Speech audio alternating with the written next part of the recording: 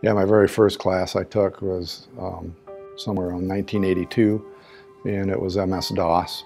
And then I took a couple more computer classes because I actually started out thinking I was going to maybe do um, computer programming because they had a degree in that at that time.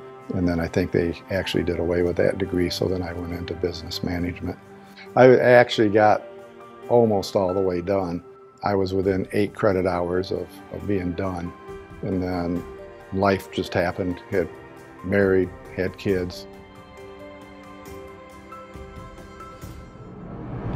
I'm Jordan. I'm 25. I have two daughters, and I'm from Burlington, Michigan. I graduated in 2017 with my LPN at a completely different college. I had a two month old and decided that it wasn't really time for me to go back to get my RN.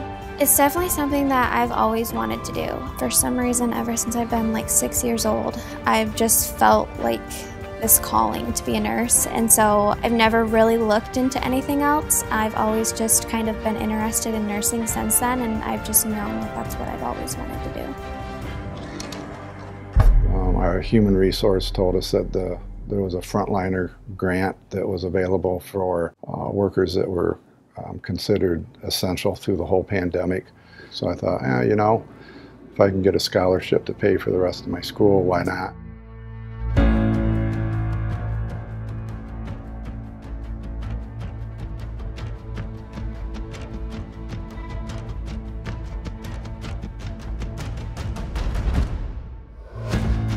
So I asked her if uh, there was um, a degree I could get with what I had and she said, yeah, you can get a general studies degree and you only need eight credit hours. So the Future for Frontliners helped a ton. When I heard about Future for Frontliners, I was like, it's a no-brainer. I have to go back and I have to try. I've always wanted to be a nurse and so that's what really pushed me.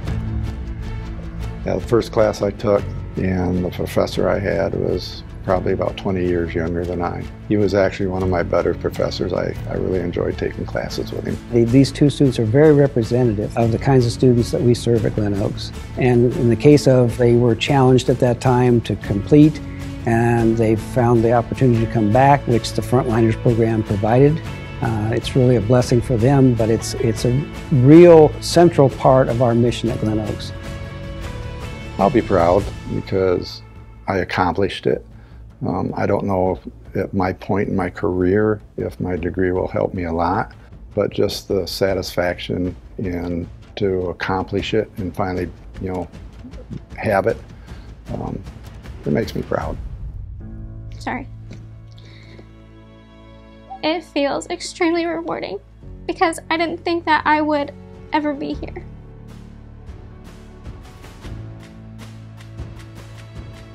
I want to also work towards my bachelor's of science in nursing and then maybe go on and get my nurse practitioner.